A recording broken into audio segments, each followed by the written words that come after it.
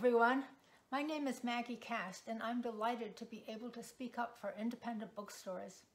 Some of us have a little more time to read these days and an independent bookstore is the perfect place to get some help in finding the book you really want if you're not sure what it is or finding the book you're finding hard to get a hold of. Uh, books, uh, bookstores like uh, the Bookseller in Chicago, uh, which also has a cafe where you can have refreshments or meet with a friend. Uh, bookstores like Women and Children First, also in Chicago, a great feminist bookstore where I've actually launched each of my three books. Um, also, uh, 57th Street Books in Hyde Park, where I used to live, which is also associated with the Seminary Co-op bookstore. Uh, these are all great bookstores, and there are so many more.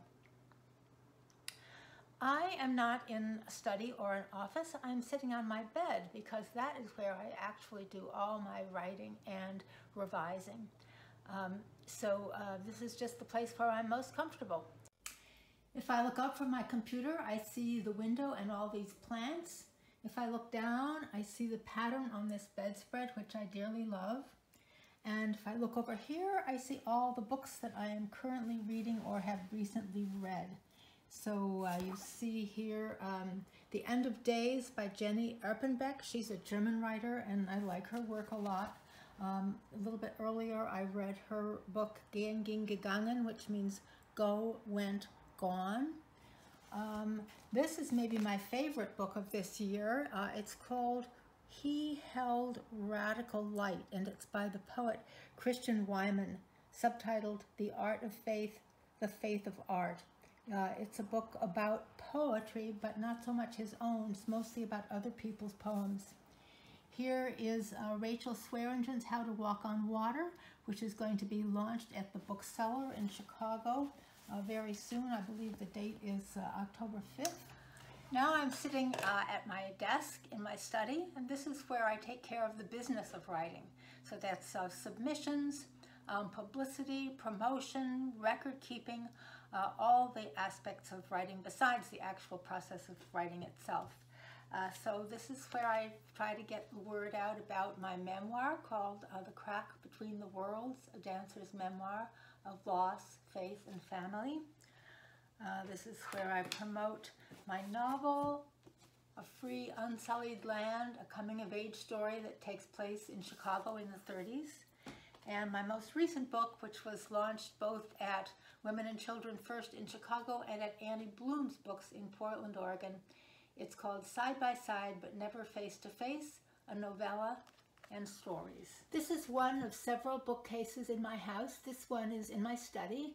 Uh, these are mostly plays and poems, which I've uh, read a lot of ever since I was a child, so there's several shelves full of those. Over here are books about dance, reflecting my first career before I began to write. And over here are theology books, uh, reflecting my shift from concert dance to liturgical dance. That's dancing worship in churches and temples as well as schools and nursing homes. And there's more of those down on this shelf. You may wonder where are all my fiction books if that's what I write.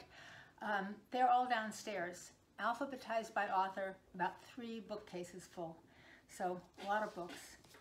I thought I would read you a very brief excerpt from the book I mentioned earlier, He Held Radical Light by Christian Wiman, which is, as I, as I mentioned, a book about poetry and faith, and it's also uh, partly a memoir about his, himself. In 1992, I found myself in Northern California. It was my first year on a Wallace Stegner Fellowship at Stanford, and it was Denise Levertov's last year of teaching.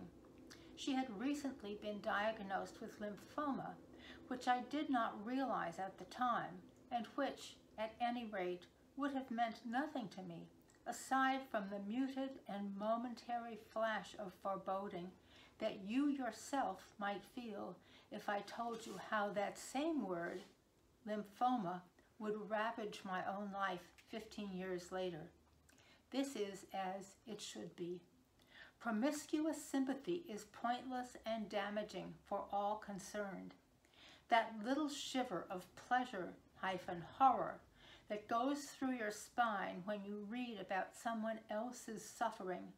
That quick metaphysical incision like a bone marrow biopsy of the soul. It's for yourself. It is yourself, soundlessly screaming, I'm going to die. It's for yourself. There's nothing wrong with this. It's one of the functions of literature, to wake one up. But if you mistake this reaction for action, if you confuse this shadow sympathy for the kind of real feeling that operates in the world with risk and agency, and perhaps even grows cold to survive, if you mistake love of literature for love, well, dear reader, read on, read on. Now I'm out in my hall, and these are all my nonfiction books. Most of these are memoir on this bookshelf. Uh, all the way down four shelves worth. And then over here, a lot of these are craft books. You can see my, my synonym finder, my thesaurus, a book about poetry. There's some collections of essays. Down here are the books that I'm using now when I started uh, writing food essays. So I have been collecting food zines. These are like small zine type publications. Here's Diner Journal. Here's Put an Egg on It. And then one shelf down are all the novellas that I read while I was working on my novella, which is part of my most recent book. So there's uh, Dubliners, Goodbye Columbus, The Liar's Wife, a whole lot of uh, novellas. And then over here on this end of the shelf are books by Hmong authors, which I read when I was including a Hmong community in my uh, novella. And so here you see The Bride Price, uh, How Do I Begin, The Late Homecomer, Bamboo Among the Oaks, and one by a non-Hmong writer, The Spirit Catches You When You Fall Down. This is my small upstairs porch, a place where I love to read, although I don't usually write up here. This is my basil plants that I use for cooking. Over here is the chair that I like to sit in.